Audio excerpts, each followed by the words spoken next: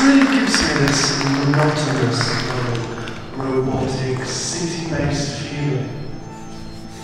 It makes me think, am I a small part of the machine, mindlessly contributing to someone else's dreams and desires?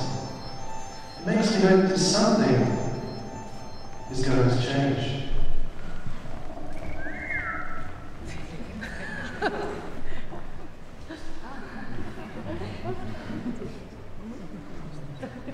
A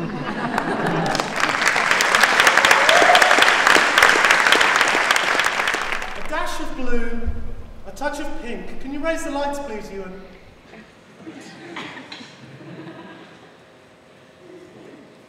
I had a few words tonight for you guys. Um, because tonight, you guys are not alone. Tonight, there's uh, cameras around, if you've seen them. So we also have the future viewers of the internet.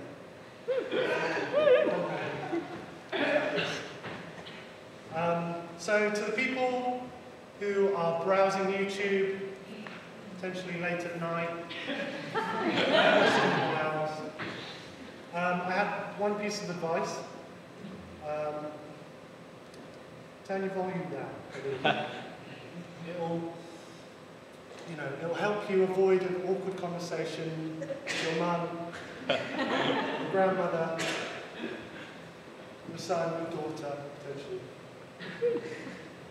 And for you guys that are here tonight, um, I'd like you to all have a look down at the left side of your seat and you'll find a seat belt and I'd like you to strap it on. because we're about to go for a wild ride. Thank you. Can you start the music, please, Izzy?